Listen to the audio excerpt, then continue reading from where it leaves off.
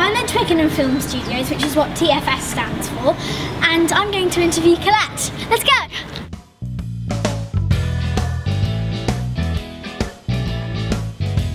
I'm interviewing Colette, who's a producer for a production company called Blunt Pictures. Hi Colette. Hello, how are so, you? I'm good, thanks. How are you? I'm very good, very good. So, um, being a pro- producer, what do you do on a day-to-day basis? Well, that's a tricky question because it kind of changes throughout the whole mm. life of your film. So you start at the beginning where you just have a script or an idea, and then it's figuring out from there, you know, how might you put it together, how might you fund it, who do you want to have working with you. So it's really pulling together the whole project.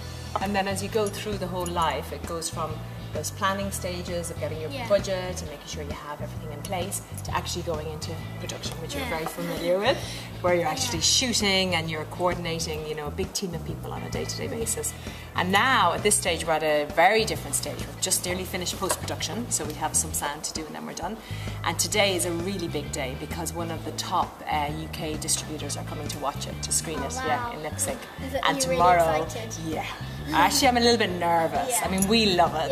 Yeah, 'cause don't know what they're going to think. No, we just hope they love it. But everybody who's seen it has told us that it's great, and we think it's great. But you know, you never know. The Yeah. distributor needs to think it's great. So today and tomorrow, we have. The, if either of these two distributors take it on, then we've sold the project, and then we'll be out there, out there with our project. Good. Have you always been a producer your whole life? I haven't. This is my very first project. Oh, wow. Yes. So how did you start off?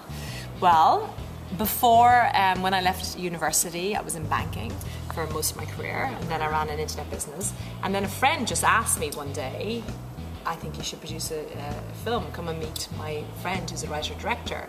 And I thought, why not?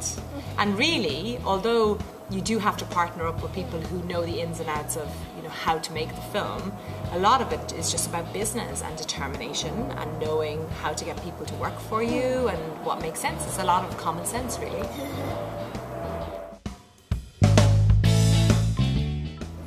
So do you think it's really important to be at a school or do you think it really matters?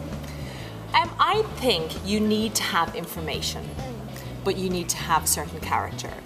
And sometimes you don't need to study it at school. Like if you could, for instance, I've learned a lot from Zorana. I've learned, I've had my ears and eyes open the whole time. So every time I meet somebody who's good, I listen, I ask questions. They kind of mentor you, Yeah. you know. Um, and I think that that's more useful because then you get real life examples. Yeah. You see it actually happening because you can sit in a classroom and people can tell you about this stuff, but It's really, not really going in. no, you want to learn from somebody who has a passion, who's doing it, um, and see them in action. Um, and sometimes it's just a light touch of that will inform you enough that you, you know, you know enough to take from that. You don't need to know everything, Yeah. but you'll know enough.